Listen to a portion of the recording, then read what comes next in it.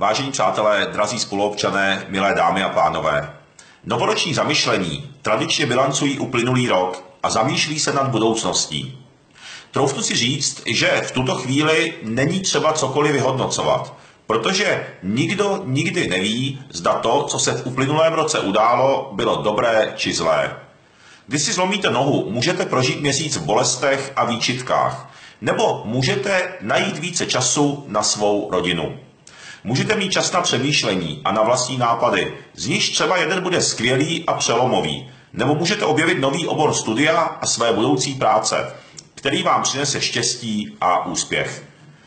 Naše tradice říká, že Bůh nás neřídí, dal nám svobodnou vůli a myslím, že to je jedno z největších poselství evropské civilizace, kterou se lišíme od muslimského pojetí, kdy člověk je otrokem nějakého předurčení. Ať už se stalo, či stane cokoliv, máme my, Evropané, v sobě víru, že naše vůle může zlé proměnit v dobré a po tisíce let máme v sobě sílu o to dobré bojovat. Tento boj vedli naši předkové nejen mečem, ale také usilovnou a těžkou prací. I tahle ta usilovná práce a dřina je něco, co nás Evropany odlišuje od velké části pohodlnějších jižních národů mimo náš kontinent. Nelze prorokovat, jaký bude nadcházející nový rok. To, co vím jistě je, že bude takový, jaký si ho uděláme my. Je jen na nás všech, zda bude úspěšný a dobrý, nebo přinese nějakou katastrofu. Máme obrovské štěstí, že ten náš židovsko-křesťanský Bůh nemá ambice s námi manipulovat a to, co si přeji já osobně je, aby tuhle ambici neměl stát, média ani Evropská unie. Přál bych nám všem do nového roku co nejvíce svobody. Svoboda není to, co nám tu dodnes politici předkládali, tedy svoboda jet na dovolenou do Řecka a svoboda nadávat na režim. Kdysi jsem psal, že máme svobodu slova, ale to, co občané říkají, nikdo neposlouchá. A elity si stejně jako za normalizace dělají, co chtějí.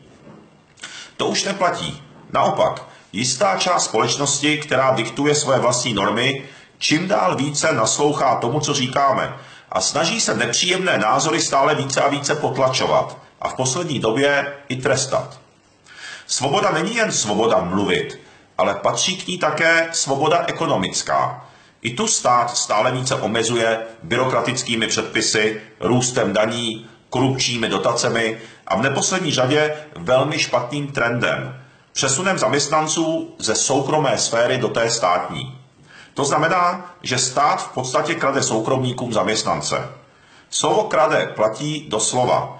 Na jedné straně státní sféra má vyšší platy než ta soukromá. Na druhé straně soukromníkům stát stěžuje podmínky tak, aby se tam platy zvedaly co nejpomaleji. A pochopitelně ekonomická svoboda znamená, že stěží může být svobodný důchodce, který nemá ani na výši svého nájmu. Svoboda, to je také svoboda od strachu z nespravedlnosti a také z bezpráví. I tady nám stát po léta ukazuje svoji nevlídnou tvář.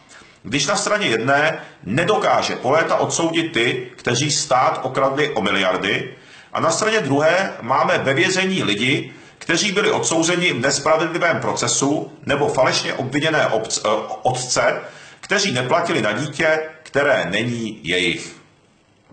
Svoboda také znamená svobodnou vůli nakládat svobodně se svým majetkem. I tuto svobodu jednotlivcům i firmám stát stále více omezuje a diktuje jim, jak a co smí a nesmí se svým majetkem a ve svém majetku dělat.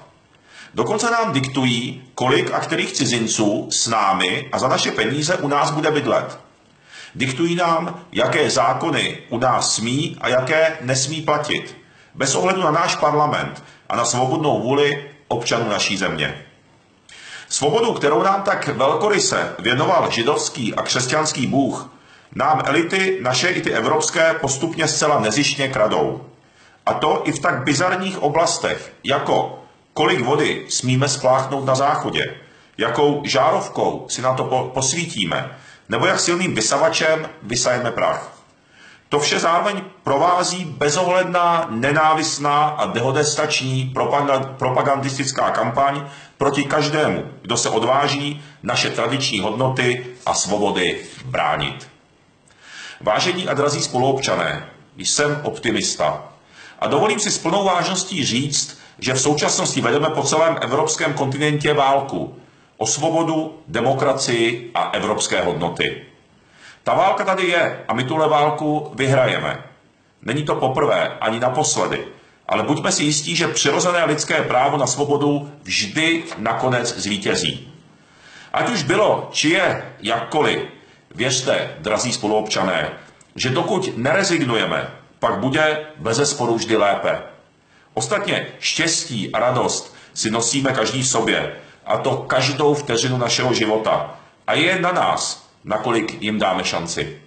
Přeji vám i všem vašim blízkým, i celé naší krásné zemi radost, štěstí, zdraví a svobodu. Mějte se krásně.